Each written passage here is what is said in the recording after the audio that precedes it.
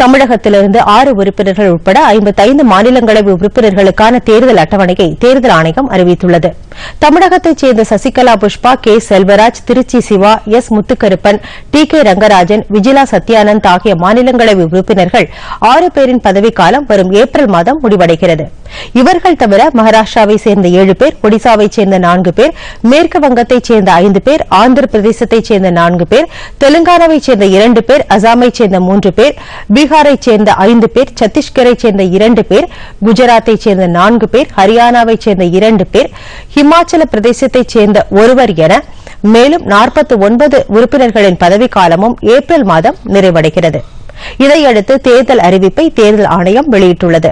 இதன்படி அடுத்த மாதம் ஆறாம் தேதி வேட்புமனு தாக்கல் தொடங்கும்.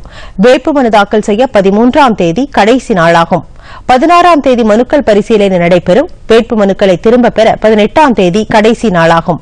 இருபத்தாறாம் தேதி தேர்தல் நடைபெற்று அன்று மாலை ஐந்து மணிக்கு வாக்கு எண்ணிக்கை நடைபெறும் என்று தேர்தல் ஆணையம் அறிவித்துள்ளது. இந்த தேர்தல் வாக்குச்சீட்டு அடிப்படையில் நடைபெறும் என்றும் சம்பந்தப்பட்ட மாநிலங்களின் தேர்தல் அதிகாரிகள் அளிக்கும் பேனாவால் மட்டுமே வாக்குச்சீட்டில் குறியிட வேண்டும்.